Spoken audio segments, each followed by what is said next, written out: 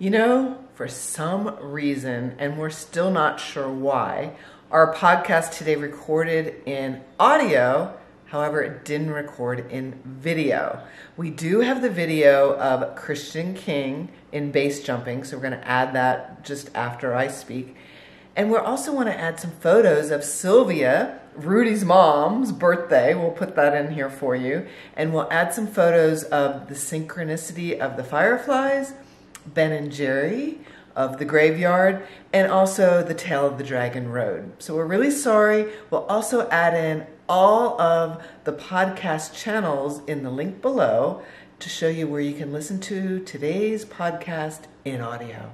So we'll see you on YouTube next week. Bye bye. Today I'm here with Christian King. Nope. Christian, tell us a little bit about yourself All right. and where you're from. Sounds good.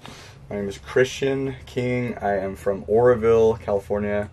Uh, born and raised in California, pretty much. And uh, um, I uh, grew up there as a gymnast. And a little bit about myself is uh, I was an acrobatic growing up, acrobat.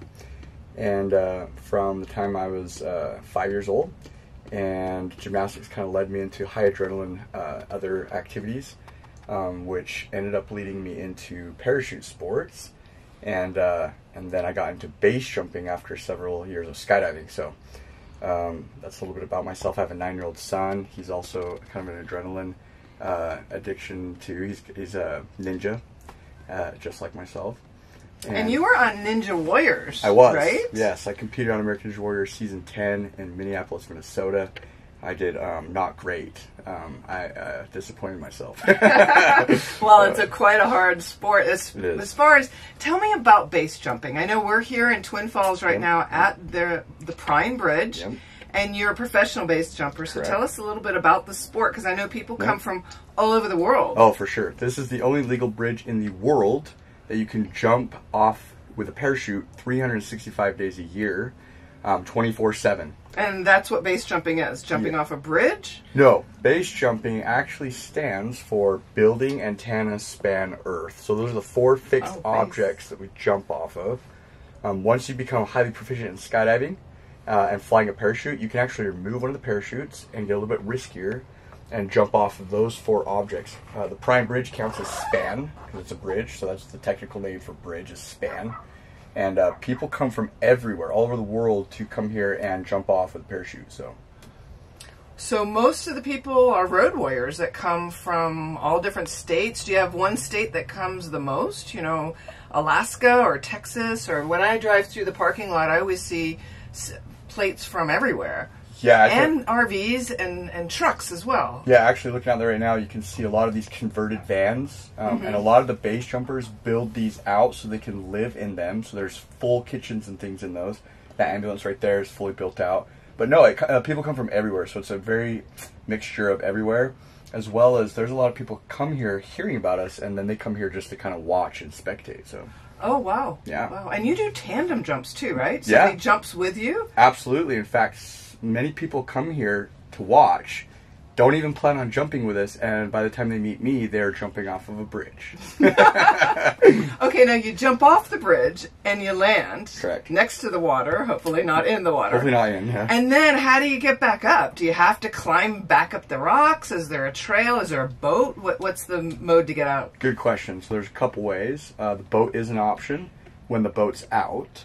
Uh, some days it's not out, and so then you would just have to hike up the side of the mountain, and there's kind of a trail that leads to it, but then it's um, pretty off trail pr- to for the last half of it. So um, it's kind of scary, and they, they joke that the, the climb up is uh, more dangerous than the base jump. So Oh. uh, last year there was a guy that uh, during September 11th event that actually fell off. He wasn't a base jumper, but he thought he could try to climb it, and he actually fell off, not knowing the route. He got lost, and uh, Life Flight had to come out, and it kind of shut down an event for a few hours till they Life Flighted him out. But yeah, you can get out that way, or you can walk down a trail about 40 minutes, and it's uh, leads to Centennial Park, which is a pretty cool park. And somebody can pick you up. And so he can pick you up at the trailhead. Yeah.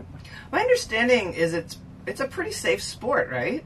Um, for this object, it's pretty safe. So, um, it's the world's most dangerous sport as far as Oh. it is classified as the world's most deadly sport. We have more deaths than any sport.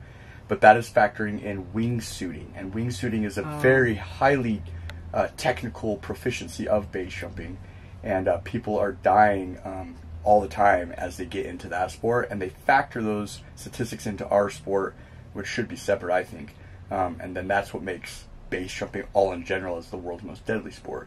But then tandem base jumping is more like commercial airline flights, and uh, very safe, perfect track record, zero injuries, zero deaths in 30 years of doing that. Oh wow. And uh, so there's never been anything that's happened in tandem base jumping, but in solo base jumping, when you're doing flips and aerials, highly dangerous. But this is the safest object that we jump off of, and that's why people come from all the world because they can train here. And if anything goes wrong, you've got water to land in, which can actually break up a, a very bad, bad uh, malfunction or, or mistake in the parachute. And then also, you're not going to strike anything after you open because you can open a parachute and it can actually open 180 degrees in opposite direction and it would smash the building or the cliff. Whereas here, you just fly right under the bridge, fix it, correct it, go back. So this is a great place to train. And the people that go base jumping with you as tandem, are mm-hmm. they all young? Are they what ages are oh, they? Oh, that is a funny question. Actually, we had a person that was tracking the ages last year, and the most commonly jumped age was females between 40 and 80. 40 and 80, we'll just put it at that. but, uh, so, yes, absolutely. We had more females between 40 and 80 jumping. You would think that younger people would, but it's actually rare for young people to jump. And uh, we did have a 13 year old jump last year. She was pretty brave. But the majority of people jumping on tandems with us are Oh. females between 40 and 80 years old. Now, to our listeners that are watching this Yes. or listening to us, Uh-huh. how can they get in touch with you? Um, you can go to circusrevolution.org. Uh, spelled just like circus. Circusrevolution.org. Yep. Okay. And you can click on tandem base jumps Uh huh. and click book now, and there's a calendar, and then we will reach out to you and schedule your, your jump date. Nice. Yeah. And my last question Uh-huh. to you is from your experience Yeah. of doing this sport and just being, you know, a little bit older than some of the young people uh, that are out here, Mm-hmm. for young people that are listening to this podcast, Yeah. what would you give them as far as telling them from your experience? Do you have any advice for them? For the younger generation? Yeah. Um, yeah, I actually I do a lot of tours out here, um, and young kids are the most interested in, in actually watching us. So although they don't jump often, they watch and they love it. And so I do a lot of tours with younger generations, and my theme is just inspiring them uh, to conquer their fears, to not let fear hold them back. And my biggest advice to the young generation is that life is very short, and it's not about yourself. It's all about what you can do in the world, what you can contribute, and who you can help.